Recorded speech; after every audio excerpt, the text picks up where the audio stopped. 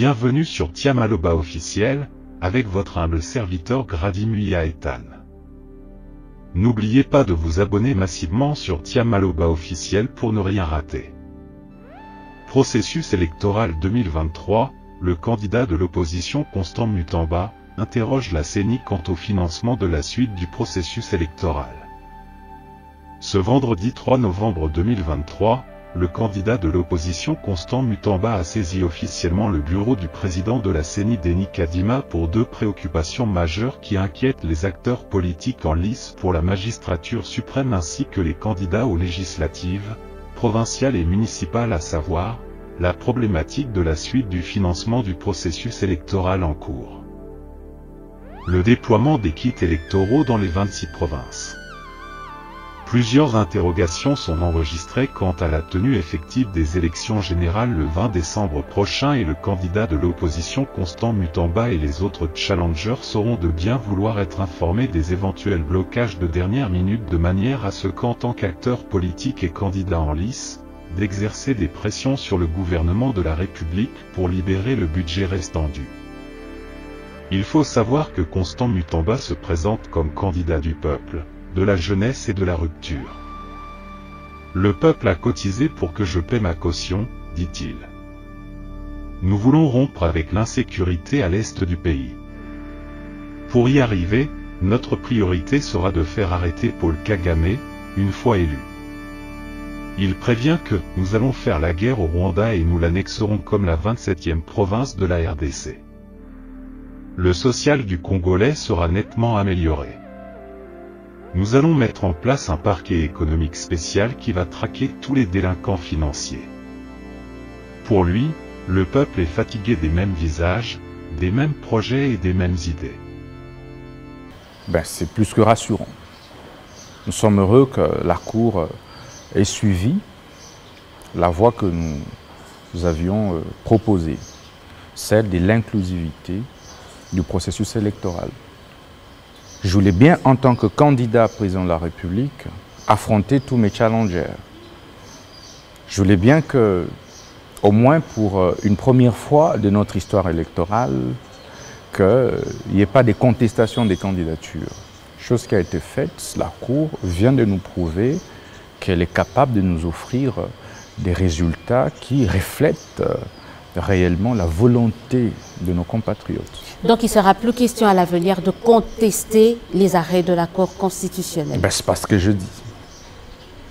Vous êtes sûr? C'est-à-dire par rapport aux résultats, par exemple, des C'est les vœux qui est les nôtres. Il ne sera pas question, au regard euh, de ces arrêts, on est sûr que cette Cour travaille en toute indépendance. Je souhaite bien que le même travail se poursuive. L'inclusivité est garantie parce que tous les candidats seront là. Et est-ce qu'aujourd'hui, on peut encore parler euh, de l'inclusivité? On trouve que c'est un vieux débat. Non mais écoutez, euh, jusqu'il y a euh, quelques jours, c'est un débat qui défrait la chronique.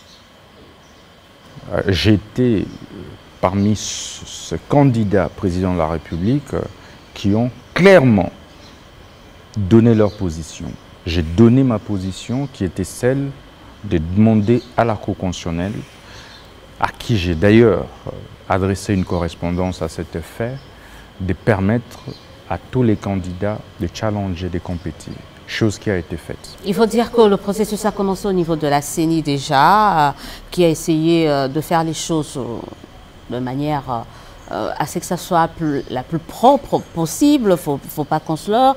Et là, euh, au niveau de la Cour constitutionnelle, l'inclusivité, allez, l'approche d'inclusivité, c'est pratiquement acquise. Parlons de la transparence de ce processus. Est-ce que le bureau Kadima rassure au niveau de la transparence Quand on voit les dernières déclarations des six, ou la dernière déclaration des six candidats présidents de la République qui estiment que euh, tout n'est pas encore fait au niveau de l'affichage des euh, de la liste provisoire des électeurs, au, niveau des bureaux de vote. Qu'est-ce que vous en pensez? Il faut dire que, en tant que candidat président de la République, numéro 2 sur la liste. Là, vous avez un euh, problème, c'est ça. Le bureau actuel de la CUNI, la composition actuelle de la CUNI rassure, contrairement euh, à la dévancière. D'autant plus que c'est une première qu'en cette période ici, il y ait une accalmie. Alors que par le passé, ça aurait fait l'objet de plusieurs manifestations publiques, de plusieurs contestations publiques. Cela prouve à suffisance combien euh, l'équipe Kadima euh, fait le travail avec euh, beaucoup de professionnalisme, beaucoup de patriotisme, beaucoup Quand vous sentez des inquiétudes des certains de certains de vos challengers, certains candidats, on se dit mais la transparence pose encore problème. Vous savez, au début, nous avons été le seul.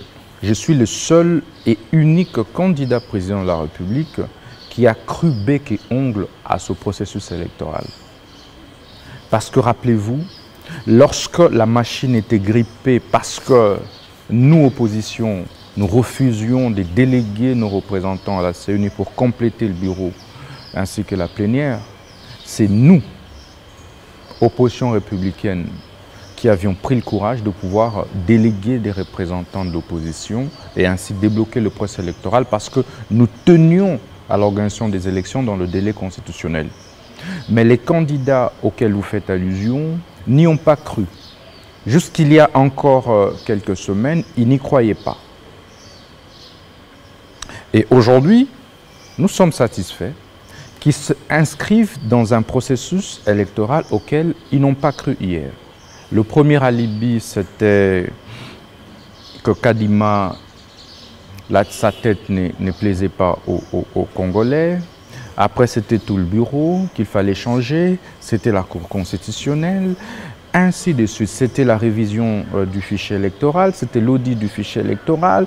C'est autant d'alibis multipliés simplement dans le but d'obtenir un dialogue qui aurait pour finalité le partage de portes de responsabilités au détriment du Congolais lambda. Et ça, nous nous disons non alors N-O-N. Et donc, il ne faudrait pas que certains compatriotes, certains candidats, en lieu et place de se préparer pour gagner la prochaine présidentielle, qui se vertuent plutôt à, travailler pour préparer la contestation. ça, ce sont les mots de la CENI. Hein. vous, vous épousez carrément, mot à mot, euh, la perception de la CENI par rapport à, ces différentes revendications. Mais le problème, est-ce que Je ne savais pas, que la CENI, mais je vous apprends, la, CENI, était devenue l'Académie française. Mais, en tout cas, la CENI l'a dit comme ça quelques jours ou quelques heures avant vous? Inventer des mots? Je ne savais pas. En tout cas, vous l'avez dit mot à mot. Ne me le faites par pas rapport À, la CENI, qui, qui a pris position par rapport à, ou qui a réagi par rapport à, ces, à ce que demande euh, ces, quelques candidats à président de la Hier, République Hier, c'était la CUNI va rejeter certaines candidatures. Maintenant que cette CUNI nous a laissé tous compétir, ce n'est plus ça le débat. C'est toujours des faux fouillants, ces revendications. Quand on demande à, ce qu'on ait la cartographie des bureaux de vote, ce ne sont pas des indications Mais la CUNI nous a rassurés que la cartographie soit rendue publique. L'affichage de la liste provisoire des électeurs la conformément à la loi. La CENI va le mettre à nos dispositions. N'oubliez pas, madame, que cette CENI a été mise en place avec plus de 25 mois de retard. Je crois que nous devons être humains. Mais qui arrive en si peu de temps à compresser le calendrier électoral et à nous offrir euh, toutes les opérations préélectorales du processus électoral, jusqu'au recrutement et alignement des candidatures à tout le niveau. C'est une première dans notre histoire politique d'avoir euh, d'ailleurs des élections municipales après plus de trois décennies. Je pense humblement que nous devrions avoir l'humilité de reconnaître que euh, Kadima, c'est un humain, mais qui fait les choses avec beaucoup d'amour, beaucoup de patriotisme et surtout beaucoup d'humilité et de simplicité. Je crois que nous devons les lui reconnaître. Je suis candidat président de la République. Je pense que je vais gagner ces élections parce que l'équipe actuelle rassure euh, euh, sur la transparence, la crédibilité et l'inclusivité du processus. On, parlera, et on verra vraiment, euh, parce que le plus dur est devant nous, on verra ce qui se passera le 20 décembre, ensuite après le 20 décembre, mais également par rapport à vous, on verra si vous réussirez à arracher le suffrage à ce nombre congolais. Ces candidats présidents, vos challengers, demandent une rencontre avec la CENI. Mais euh, je ne trouve pas d'inconvénient. Il y a toujours eu des cas de concertation. La CUNI nous a plusieurs fois réunis avant d'être candidat président de la République. Et je ne pense pas que cette culture va, s'arrêter maintenant. Ça n'a rien à voir avec un, dialogue, hein. c'est juste une rencontre pour essayer encore Mais ces rencontres ont toujours eu lieu. Ce ne sera pas une première. Avec des candidats présidents, rien qu'avec des candidats présidents. Mais pourquoi rien qu'avec les candidats présidents de la République? Parce qu'il y a des candidats députés nationaux. il y a des candidats Vous savez qu'il n'y a pas eu le même critère pour les, candidats présidents que pour les candidats députés. Hein. Non, qu'est-ce que vous entendez par même On a eu à renforcer certains critères Je pense par rapport aux candidatures de président de la Il ne faudrait pas personnaliser le débat. Il ne faudrait pas singulariser. Tous les Congolais et Congolais ont le droit d'être informés de l'évolution du processus électoral. Je pense que le cadre indiqué, c'est le cadre des concertations. L'un n'exclut pas l'autre. Et donc, la CUNI devrait plutôt, comme par le passé, nous organiser un cadre de concertation euh, pour euh, Rien qu'avec les candidats informer davantage de l'évolution du processus Rien qu'avec les candidats présidents. Écoutez, je suis candidat président de la République. Je ne trouve pas d'inconvénient de répondre à une invitation de la CUNI pour discuter euh, du déroulement du processus électoral. On parle, là, on a parlé de l'inclusivité euh, du processus électoral, de la transparence, le côté apaisé de ce processus. Quand on entend par exemple Corneille Nanga euh, euh, affirmer qu'il n'y aura pas élection et qu'il ne faut pas qu'il y ait élection, quand on entend récemment John Mumbi dire qu'il ne faut pas qu'il y ait élection dans ces conditions parce que le FCC n'est pas là parce qu'un certain accord n'a pas été respecté. Est-ce que vous pensez que le caractère apaisé de ce processus est déjà garanti ou on doit toujours être sur nos gardes? Il n'appartient pas à la CENI de garantir. Euh, je ne parle pas de la CENI, je, posais la question au candidat président. Mais euh, je ne voudrais pas non plus euh, opiner sur les déclarations des, des, compatriotes qui sont libres d'émettre leurs analyses, qui sont libres de pouvoir donner leur point de vue. Tout peut arriver d'ici le 20 décembre. Ben écoutez, je ne suis pas un prophète de malheur. Je ne voudrais donc pas faire l'apologie du malheur. Nous avons connu assez de morts, nous avons connu assez de crises. Savez-vous qu'en en, trois décennies, nous avons mis à genoux notre économie par euh, des crises multiformes et souvent euh, euh, fantaisistes. Nous avons été à la base des millions et des millions de morts de nos compatriotes toute notre industrie a disparu par les pillages des années 90. Euh, nos compatriotes sont morts par des millions à partir des années 96. Euh, jusqu'aujourd'hui avec euh, les rébellions qui, qui, se sont suivies en 98, en 2000, en 2013 et aujourd'hui encore en 2023 par l'agression rwandaise, nous continuons en fait à perdre. Nous n'avons plus le temps pour ça. Je pense que humblement, euh, le, temps de jouer à ces genres d'artifice est révolu. Nous devons, nous tous, considérer que plus que jamais, les Congolais devraient se mettre d'accord de pouvoir avancer. Avancer, mais comment donc on doit? Est-ce qu'on doit être sur nos gardes? Tout peut arriver. Écoutez, je ne voudrais pas que nous puissions faire l'apologie de la guerre. Ceux qui font l'apologie de la guerre, euh, des troubles, du désordre, ils n'en connaissent pas les conséquences. Euh, ceux qui pensent qu'ils peuvent déclencher des troubles ici au Congo pour en sortir gagnant, je pense qu'ils ne connaissent peut-être pas très bien l'histoire politique de ce pays. Je vais plutôt conseiller euh, beaucoup d'humilité et de sagesse en cette période allons aux élections et que ces élections soient libres, inclusives, crédibles, transparentes pour permettre d'accéder ou d'offrir au peuple congolais une alternance euh, euh, apaisée et voulue par, euh, par lui. Et ce côté apaisé risque également d'être... Et, certains commencent à remettre ce côté apaisé par rapport à certains propos, on a parlé de Nanga, on a parlé de Je condamne, moi, je, moi en tant que candidat président de la République, je condamne tous ces profondeurs, je condamne tous ces propos qui euh, tentent plutôt euh, à, à faire reculer notre démocratie. Et des propos crois- surtout tribalistes ces derniers temps. Allusion faite aux dernières déclarations, par exemple, du gouverneur de Kassai, central. Il disait, voilà, des propos qui ont été condamnés par tous, mais des propos qui sont qui risquent de mettre à mal le, le caractère apaisé. Je de- condamne tous les propos des natures à embraser la situation du pays, de manière générale, la situation sécuritaire, économique et sociale.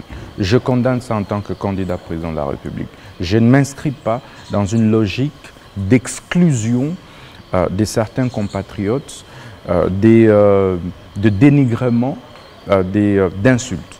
Je considère que le Congo appartient aux Congolais et que tous les compatriotes ont le droit de battre campagne où ils veulent. Est-ce que vous êtes de ceux qui pensent qu'il y a cette exacerbation du tribalisme ici, en République démocratique du Congo, depuis un certain temps? Ben, je pense que cela est consécutif à notre constitution euh, et congénital à cette constitution qui a été mimée, importée de l'Europe, importée de, de la France. Nous avons fait du copier-coller d'une constitution qui n'est pas adaptée à nos us et coutumes. Je suis pour, en tant que sixième président de la République démocratique du Congo, euh, euh, que l'on mette fin, par exemple, à, à cet état d'élection des gouverneurs originaires de province. Ça, ça fait partie de vos réformes, voyez, les réformes que c'est vous autant comptez de réformes, c'est l'une des réformes que je vais devoir apporter. Et une vous fois pensez que ça peut euh, Et je mettrai faire également fin, les- le tribalisme? Je vais supprimer toutes les associations ethno-tribales. Ça va, ça va disparaître au nom euh, association des Katangais, association des Kassaïens, association Grand Oriental. Ça, ça ne devrait plus exister. Et originaire d'un coin, celui qui s'y reconnaît. Voilà le principe phare que je vais défendre. Tu es né, par exemple, dans le Bandundu, quoique ton père ou ta mère euh, ne soit pas originaire de Bandundu, ben, tu es considéré comme tel. Tu es né à Matadi, ben, tu t'identifies euh, à la terre de Matadi, etc., mais tu es chez toi, tu es originaire de là. Donc nous allons supprimer un certain nombre des choses qui ont reculé, qui font reculer la République, entre autres euh, euh, des références ethno-tribales qui n'avancent pas le pays. À chaque fois, il est katangais, il est kassaïen, on a fait ceci parce qu'il est katangais. Mais souvent, ça se passe que juste entre ces ceci, deux euh, tribus, hein, Kassaïen, va. Katangais. Nous- euh, nous mettrons fin à Peut-être tout que ça. c'est- c'est dû à ce passé-là. Est-ce que ça allons, peut. nous ça allons mettre fin à tout ça, mais c'est pourquoi je condamne fermement les propos qui ont été tenus par certains compatriotes allant dans le sens de plutôt faire l'apologie du tribalisme, euh, de l'ethnicisme. On parle déjà du candidat président que vous êtes. Vous êtes le plus jeune candidat président. En effet, 32 ans, 35 ans. 35 ans. Ouais. Comment vous vous sentez comme jeune candidat à la présidentielle euh, de la RDC Ben écoutez, c'est plutôt une euh, grande responsabilité, Euh, mais en même temps, je considère que cela rentre dans l'ordre naturel des choses. Parce que ceux qui euh, lisent l'histoire savent que c'est l'âge où tous les grands hommes se sont inscrits dans l'histoire du monde. C'est l'âge euh, qui a créé, euh, qui a vu émerger tous les grands présidents du monde, Comme qui Tous les euh, grands Kabila, c'était écrivains. à, le- à 29 ans. tous les grands Lumumba, c'était un peu plus tôt également. Lumumba, Lumumba, je vous informe qu'il est mort Premier ministre. Il n'avait en réalité que 35 ans. Il est devenu Premier ministre Donc de ce il a pays. commencé bien plus tôt. Il, est entré en, il a, dans il a, il a été tôt. Premier ministre de ce pays à 35 ans. Thomas Sankara un peu moins. Euh, actuellement, dans notre, euh, Il y, a, il y a Joseph Kabila lui-même qui devient président à, à- à 29 ans. Euh, il y a Traoré Ibrahim qui est président à 35 ans. Il y a Doumbia au Mali qui a 39 ans. Vous avez les Sonko qui ont à peine une quarantaine. Euh, vous avez Les deux euh, du Mali, du ce sont des, des- révolutionnaires, des gens qui... Wine. Les prendre comme exemple alors qu'ils sont...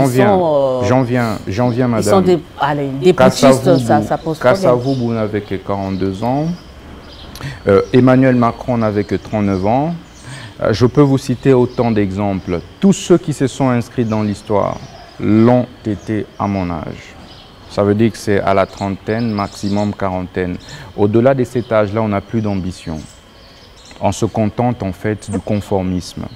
Alors que c'est à cet âge où on a l'idée de se jeter dans l'inconnu et de faire preuve de l'innovation.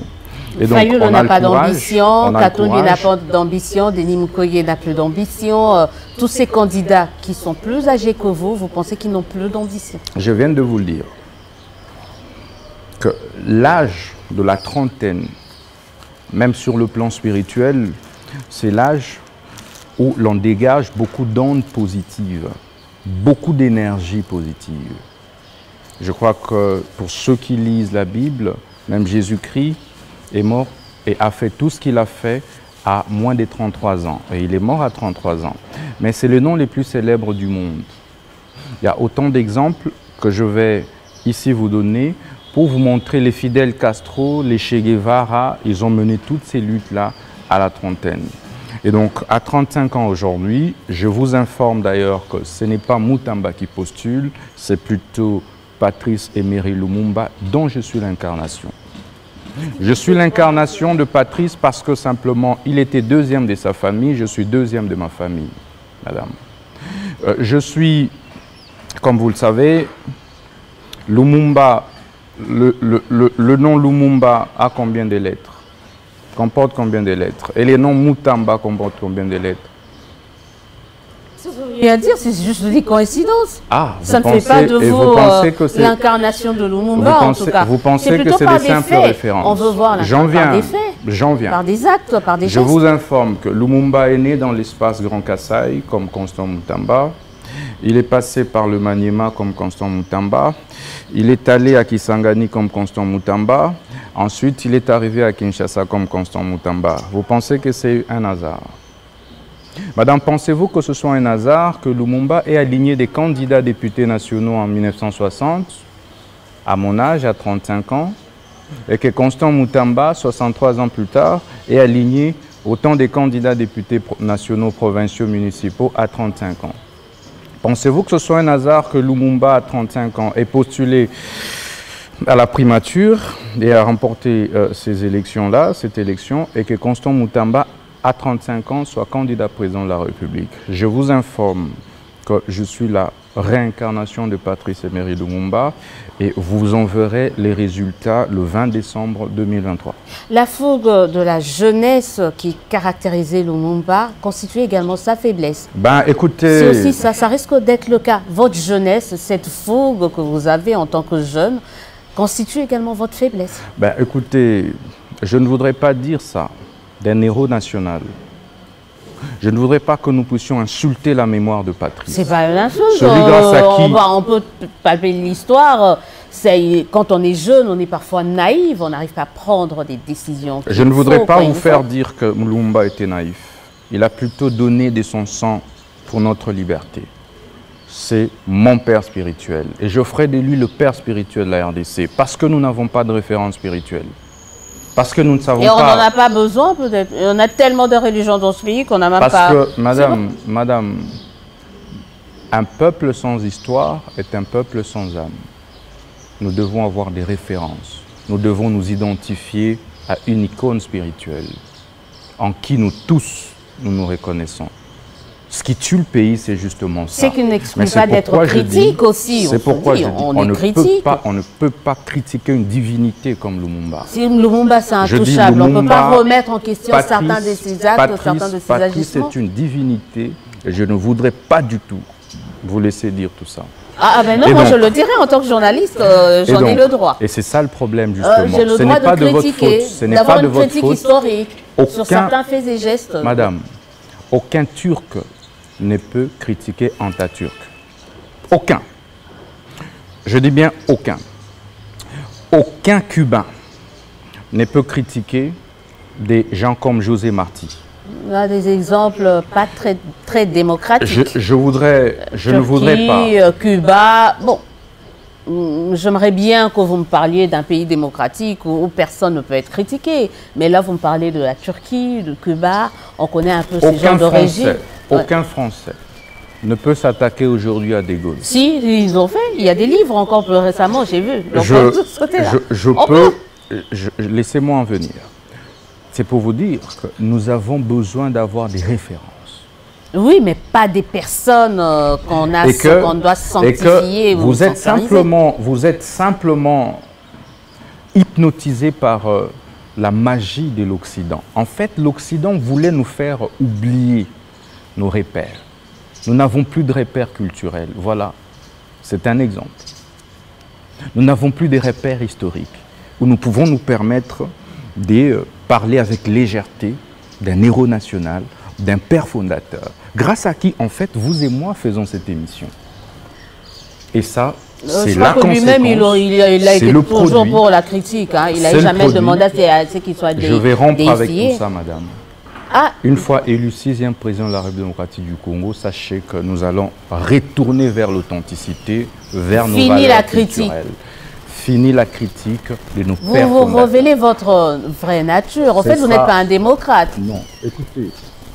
Un démocrate, c'est lui qui accepte la critique et qui est ouvert à... Je ne voudrais pas, je ne voudrais pas miner et calquer la démocratie à l'occidental. Je suis pour une démocratie qui soit adaptée à mesure de Quelques critères de cette euh, démocratie. euh, L'anarchie que nous vivons actuellement, la déliquescence de notre État est consécutive, madame, au désordre mental, spirituel et physique que nous avons érigé en mode de vie et de gouvernement.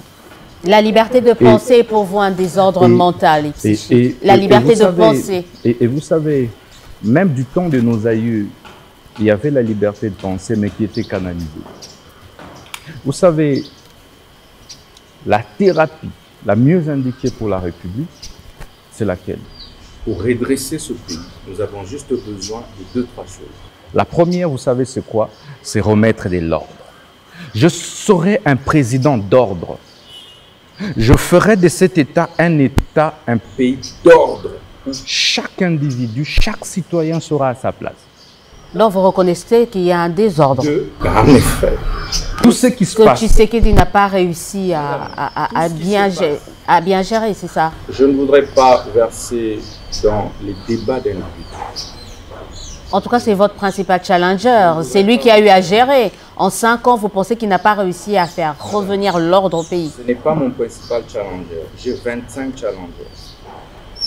En tout cas, c'est le seul qui a, qui, a, qui a géré, qui a un bilan. Un candidat la Il a un bilan à défendre. On cite Tshisekedi parce qu'il a un bilan. Chacun a un projet à défendre, pas un bilan. Parce qu'en fait, notre peuple ne va pas nous voter en fonction du bilan, madame, mais plutôt en fonction du projet de société. Euh, ça ne sera pas le cas avec Tshisekedi, qu'il y aura et un bilan et, et, un projet. Et donc, je disais que tout ce qui se passe dans ce pays est consécutif au désordre. Donc vous, serez, vous allez faire revenir. Je vais rompre. Le premier mot clé, c'est la rupture. Voilà pourquoi notre campagne électorale sera centrée sur ou autour du mot rupture. Nous voulons rompre avec les antivaleurs des gestions du passé. Nous voulons rompre avec les vieux et anciens visages politiques. Nous voulons rompre avec la pratique du détournement des niveaux. Nous voulons rompre avec l'insécurité à l'est du pays. Mais c'est pourquoi, une fois élu président, je ferai arrêter personnellement M. Kagame, euh, président rwandais, et je ferai annexer le Rwanda à la République. là, vous nous le dites déjà en boucle, sans nous dire comment vous allez procéder. Quand on sait qu'il y a le droit international, vous, vous nous le répétez en boucle. Avec l'externalisation de notre économie et de notre mentalité. Une fois élu président de la République, on va maintenir le français, on va y adjoindre l'anglais pour votre information. comme langue internationale. Notre pays, on enseignera désormais nos enfants et en français et en anglais, mais aussi en nos langues vernaculaires. Ça veut dire je vais m'organiser pour que à Kinshasa, on enseigne le Swahili. À Bukavu, on enseigne le Lingala aussi, ainsi de suite. Ceci va permettre une intégration véritable de notre, de. Il est anormal, madame, qu'un enfant de Kinshasa ne sache pas ce que ça veut dire euh, Djambo. Et savez-vous que 8 sur 10 Congolais pensent en leur langue et traduisent mentalement en français avant d'exprimer une pensée. Vous comprenez ce retard des raisonnements qu'il y a, mais c'est pourquoi vous voyez que nous sommes Ce que je ferai, ce sera de promouvoir, de promotionner nos langues vernaculaires, nos langues nationales. Madame, j'ai dit que je vais imposer le retour à l'authenticité, à nos valeurs culturelles. Par exemple, 10 ans de prison pour tous les homosexuels. Madame, où est-ce que vous avez déjà vu dans notre culture un homme aller doter un homme, une femme aller doter une femme Et toutes les attitudes correspondantes à l'homosexualité. C'est-à-dire toutes les attitudes correspondantes, c'est-à-dire Sévèrement punies. Des efféminés, il peut être homme, euh, c'est-à-dire des marches sur base de quoi Donc, des attitudes féministes alors que tu es un homme, 10 ans de prison. Nous devons retourner. Et tu adoptes des attitudes d'homme quand tu es femme Madame, je dis bien que je vais combattre systématiquement l'occidentalisation qui a malheureusement nivelé vers le bas notre République. La Chine, pour se développer, elle a dû se renfermer et recourir à ses valeurs culturelles. Et nous devons enseigner à nos enfants nos grandes valeurs, ces valeurs que nos, grands-parents, que nos aïeux nous ont. Nos grands-parents et tout cela va être mis en application. Un homme commençait à mettre des rouges à lèvres. Mais, mais, mais, mais, pourquoi? Rompre, on va rompre avec ces gens de on, on, va rompre, on va continuer le débat. Je crois que pendant... La liberté, mais c'est du libertinage. Pendant la, Détruit notre société. Pendant la campagne, on parlera vraiment en long et en large par rapport à ce que vous, vous comptez faire une fois euh, président de la République, mais vous vous définissez également comme candidat de l'opposition. Une, une qualité que vous refutez beaucoup d'ailleurs. D'ailleurs, je ne voudrais pas vous laisser dire que je me définis comme candidat. Vous ne m'avez pas laissé terminer ma question vous vous définissez comme candidat de l'opposition, une qualité que vous refutez certains de vos pères ou certains de vos aînés. Ah ben, je ne savais pas qu'il y avait certains compatriotes qui pouvaient délivrer euh, de, de, titres d'opposants euh, et de majorité à qui La candidature de Moutamba est un prêtre, non euh, Qui suit La candidature de Moutamba à la présidence de la République, c'est juste un prêtre, non Ah, donc C'est de faire valoir. qui peuvent euh, donner des cartes d'identité, des cartes d'opposants à certains, mais qui me donnent alors la carte de la majorité au pouvoir. J'en cherche. Ben oui, vous travaillez, vous, tra vous roulez pour Tshisekedi, affirme-t-il. Et pas besoin d'une carte. Pas besoin. Pas besoin d'une carte. Peut-être par vos agissements, ils sont arrivés à cette conclusion. Ah. Je pense que ce qui gêne, c'est que le candidat numéro 2, Constant Moutamba, vous, vous, allez me mettre en difficulté. Je serai obligée d'enlever et d'élaguer cette partie parce que le CISAC ne veut pas de ça. On n'est pas en campagne. Donc vous ne devrez pas dire candidat numéro 2. Madame Limitez-vous par exemple à dire candidat président. Candidat président de la République. Voilà. Constant Moutamba est un candidat de la rupture. Les seuls candidats qui ne va pas à Bruxelles, qui ne va pas à Paris pour solliciter et vendre la République. Solliciter du soutien, en contrepartie, vendre la République démocratique du Congo. C'est celui qui refuse de s'associer aux comploteurs de la République. Si c'est cela qui devrait être considéré comme synonyme d'appartenir, d'être un prête-nom d'un autre candidat, ben, tant mieux, ça ne me gêne pas. Non, mais au moins vous êtes de même avis avec euh, Félix Tshisekedi, donc il y a des candidats de l'étranger. Écoutez, je ne suis pas d'avis avec un autre candidat, mais je dis qu'il y a Vous partagez. de candidats qui sont fabriqués par l'Occident. Mais je l'ai dénoncé dans plusieurs de mes tweets. Jusqu'il y a deux semaines, certains étaient où? En Europe. Aller chercher quoi? Mais ils sont allés vendre la République. Le projet, madame, que j'ai dénoncé, était des saucissonner une partie sud-est de la République après les élections. Et le plan est de pouvoir euh, vendre la partie euh, Bunagana, donc Rutshuru, au Rwanda. Vous avez des preuves de ce que vous, vous, vous avancez, de vos allégations. Mais pourquoi vous ne portez pas plainte si vous voulez, je ne porte pas plainte, je dénonce devant nos électeurs, de sorte que le moment venu, en tant que sixième président de la République, je vais faire arrêter tous ces comploteurs. Et j'ai déjà identifié l'endroit où je construirai une prison spéciale et pour les, les traîtres de la République et pour les détourneurs. Ça va être dans la commune des Rentiers. Tout- tout- tout- tout le- tout- Tous les mots. Et donc, Ok. madame, c'est pour dire que je suis l'unique candidat de l'opposition politique congolaise. Pas les candidats communs, le candidat unique. D'autant plus que tous mes challengers sérieux ont géré la chose publique à un certain moment de leur histoire politique. Vous faites allusion à qui? candidat- Le seul candidat qui n'est jamais géré, c'est Constant Moutambo.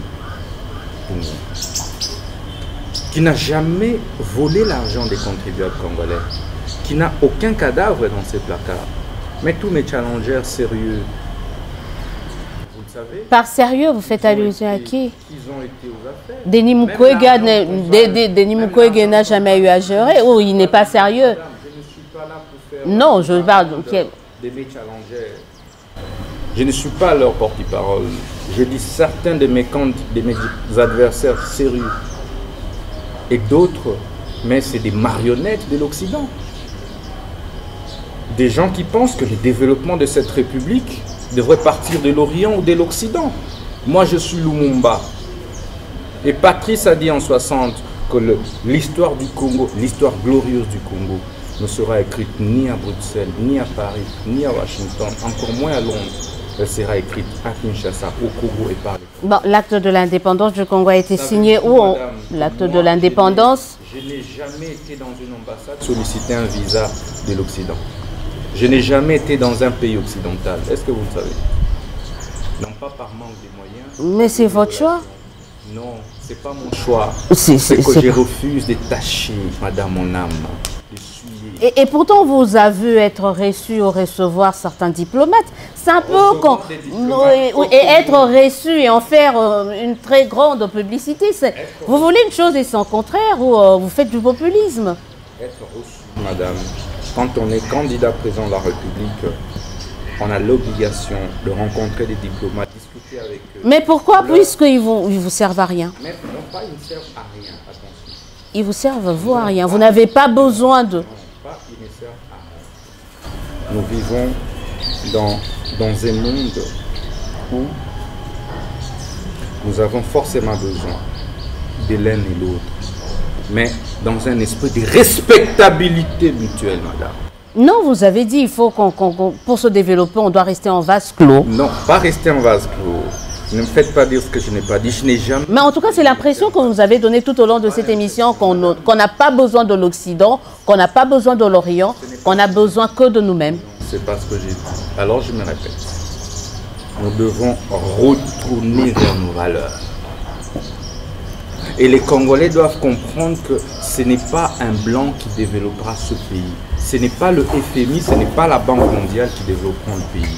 Nous devons prendre conscience, madame. Cela ne veut pas dire vivre en vase clos. Je vais imposer plutôt en relations internationales des relations de respectabilité bilatérale et multilatérale entre États. Les étrangers doivent respecter notre République que quand ils viennent ici, c'est pour réellement investir, madame, et non pour pouvoir voler, faire de la prédation de nos richesses. C'est pourquoi, par exemple, dans les secteurs miniers, j'interdirai toute exportation de nos minerais à l'état brut, madame. Euh, il y a une loi sur la matière. Je convierai toutes les multinationales, les fabricants par exemple des téléphones, etc., de venir le faire chez nous, d'ouvrir des. C'est ce qu'essaye de faire dit, mais apparemment ça marche toujours pas. Et donc, je vais remettre en valeur, rebooster, dynamiser nos entreprises minières.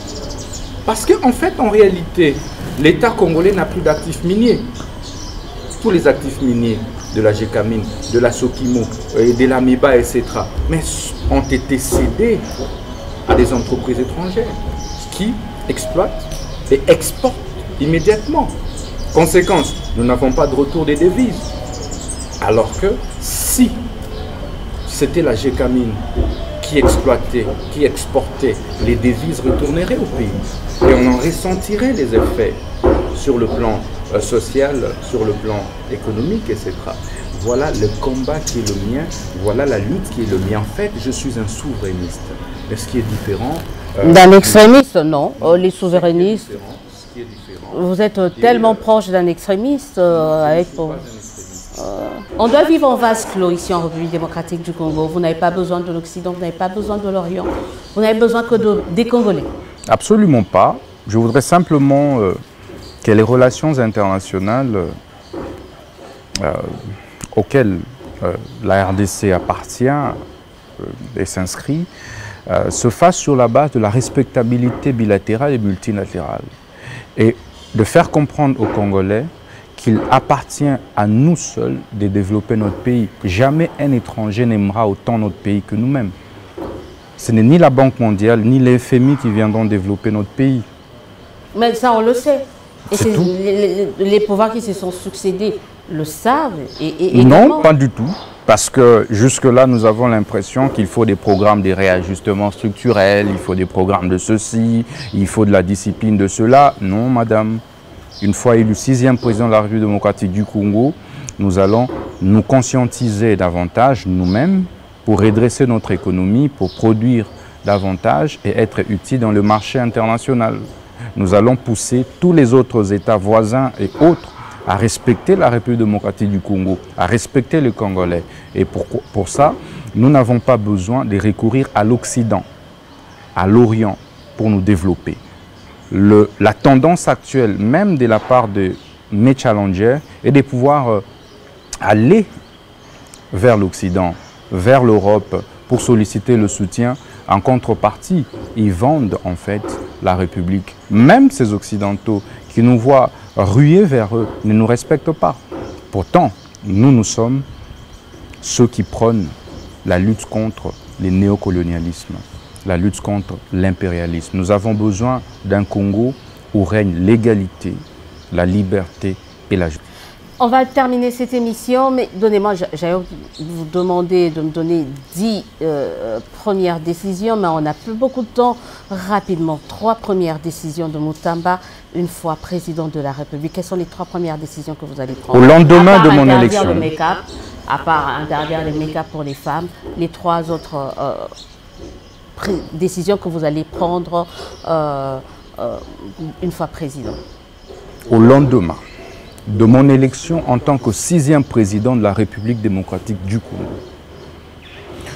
Je mettrai immédiatement en place un parquet économique et spécial qui aura pour mission de traquer tous les délinquants économiques et financiers, de tracer l'origine de chaque acquisition mobilière et immobilière. Rien à voir avec l'IGF Absolument pas. Ça, c'est un organe judiciaire.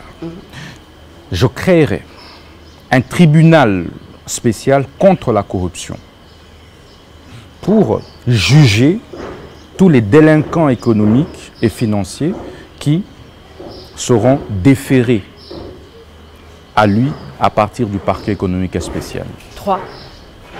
Je lancerai une opération pour traquer M. Paul Kagame afin qu'il réponde de tous les crimes qui ont été, de tous les massacres qui ont été perpétrés dans la partie euh, est du pays. Je lancerai, madame, l'opération bien mal acquis. Tous ceux qui ont volé l'argent de l'État et ont construit des immeubles, tous ceux qui ont acquis des mobiliers à partir de l'argent du contribuable congolais, vont se le voir confisquer. Et pour les immeubles, nous allons les transformer en logements sociaux. Et donc, que le Congolais sache que je vais systématiquement lutter contre l'impunité. Lutter contre l'impunité, on aura encore le temps de reparler. Je de ne voudrais pas projet. vous rappeler que j'interdirai formellement l'exportation de nos minéraux à l'état brut et je vais immédiatement financer et restructurer nos entreprises. publique minière. La GECAMINE va être relancée avec tous ses actifs miniers. L'AMIBA sera relancée. Nous allons relancer la SOTIMO. Ceci pour donner de la valeur ajoutée à nos matières premières.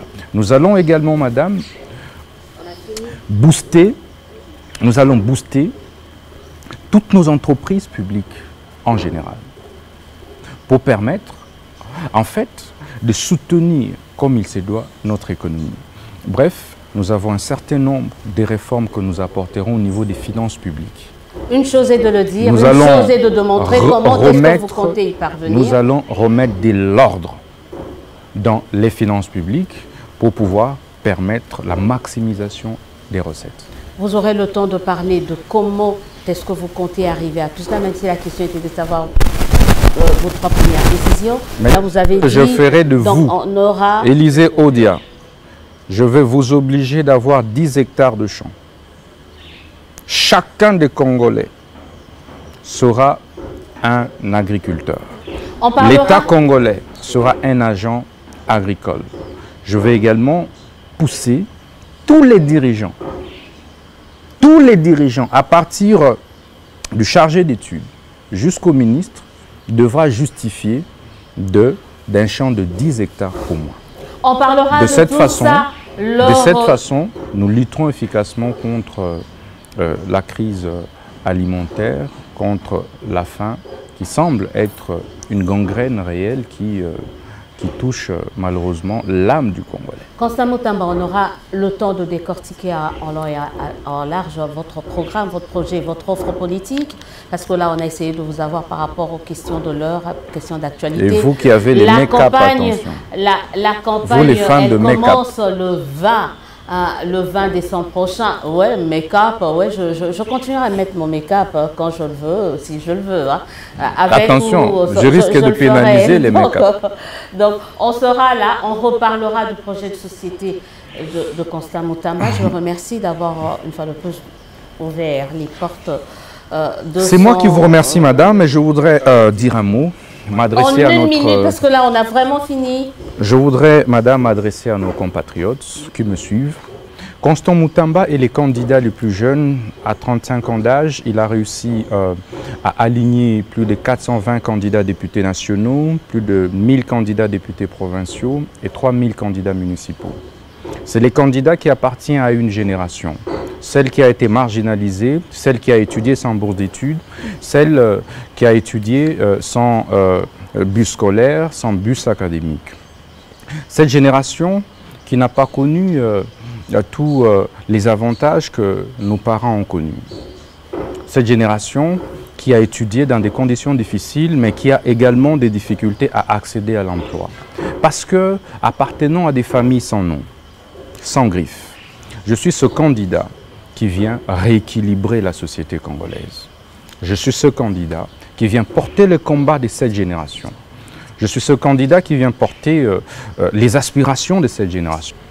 Une fois élu président de la République, je vais euh, devoir imposer trois mots clés qui articuleront en fait ma gouvernance politique. C'est l'égalité. Je créerai une société d'égalité où tous les jeunes, toutes les familles seront égaux et égales. À part les Je vais imposer également euh, une société de justice où nous lutterons efficacement contre l'impunité, les injustices sociales et distributives. Nous allons créer une société de liberté où nous laisserons nos compatriotes s'exprimer librement, mais en ordre, Et faire ce qu'ils et veulent dans le de- respect de, strict de leur tête de et nos de leur lois, corps. de nos us et coutumes. Ils feront ce qu'ils veulent de leur tête et de leur corps. Merci beaucoup d'avoir été notre invité ce soir dans le cadre de cette émission Dites-nous la vérité.